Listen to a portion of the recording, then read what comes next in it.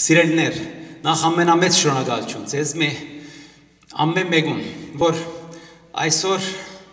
ներկա գտնվեցաք կանադայության եւ թորոնտայության համար պատմական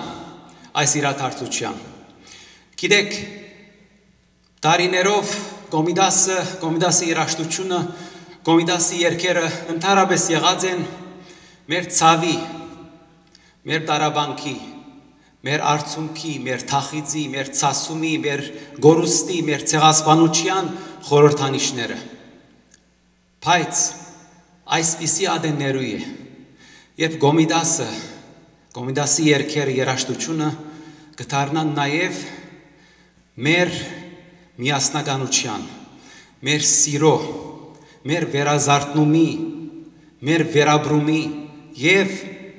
չարակորձության թեմ ստեղծագործական ցանկով հաղթելու մեր ժողովրդի բացարիք կարողության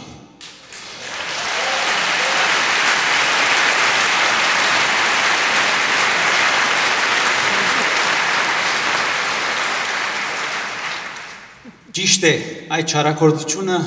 կարողացավ Գոմիդասի հանճարը, դաղանթը լրացնել կարողացավ իր միտքը եւ հոգին սպաննել,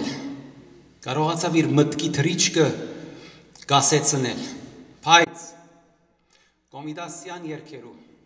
Կոմիդասյան երաշտության անլրելի զանգագադունը հավերժ պիտի գողանչե եւ որևէ մեկ ուժ չի կարողանա գասեցնել այդ երթը դեպի հավերժություն